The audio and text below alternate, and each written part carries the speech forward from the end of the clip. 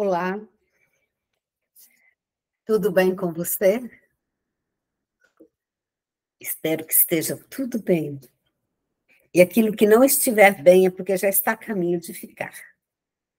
Porque normalmente, até aquilo que muitas vezes parece não estar bem, está sendo, tá sendo uma benção, está sendo uma cura, está sendo um, um trabalho de de crescimento e evolução para as nossas vidas. E nós vamos hoje para a nossa mensagem do nosso arquétipo. Vamos lá? Tiramos a roda da fortuna.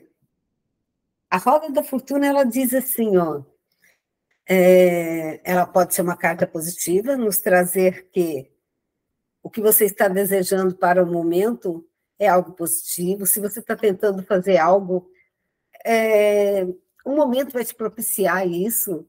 Então, a roda da fortuna traz para nós assim momentos é, positivos para a gente agir, para a gente é, tomar uma, uma ação, uma atitude. E ela também vem nos dizer assim: ó, nem tudo permanece como está.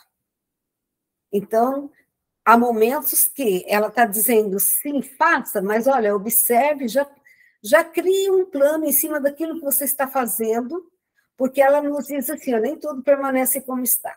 Se tem algo na tua vida que você está querendo fazer uma mudança, então assim, ó, é o momento, porque nada permanece como está. Eu quero fazer algo que vai dar certo, sim, faça, mas já crie uma programação porque ela é rotatividade, ela não para, certo? Então, assim, o que, eu diria para você, se você está no momento de, de um empreendedorismo, de um namoro, de conhecer alguém, vai lá, o momento é agora. Só que já tenha, adiante disso, hum, uma observação, já tenha diante disso um caminho, porque só com essa carta diz assim: Pode dar certo, mas e aí depois? Observa-te, certo? Então, assim, ó, com muito carinho, com muito amor, eu vou buscar mais uma cartinha para falar conosco. Aí vem a torre, aí nós temos duas cartinhas, olha, a cartinha que, que é bem positiva, que diz sim, e uma outra, que ela, a gente julgaria a torre negativa, mas no propósito dela, juntando essas duas hoje, o que, que eu vou dizer para você?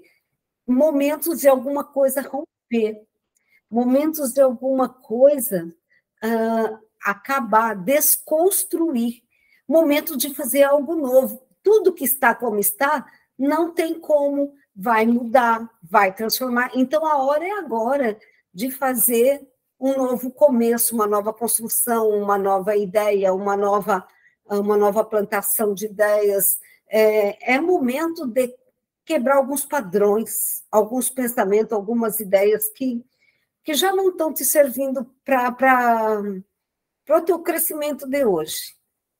Então, assim, olhe, te permita, te permita, porque tudo está favorável para o teu momento acontecer.